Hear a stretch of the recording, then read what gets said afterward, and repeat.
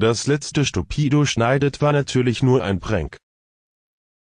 Hier ist nun das richtige Video, auf das ihr alle gewartet habt.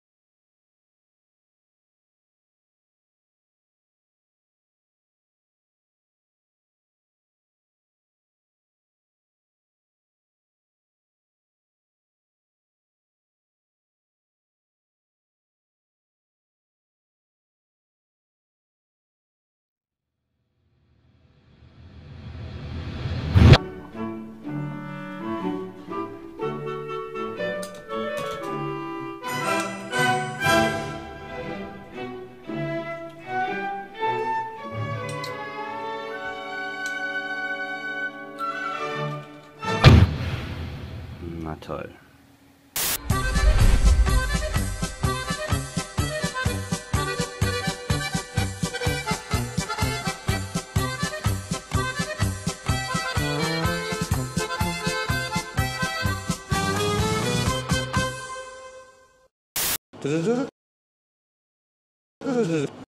Nehmen wir mal an, du wärst in der Holocaust-Zeit geboren worden. Ja?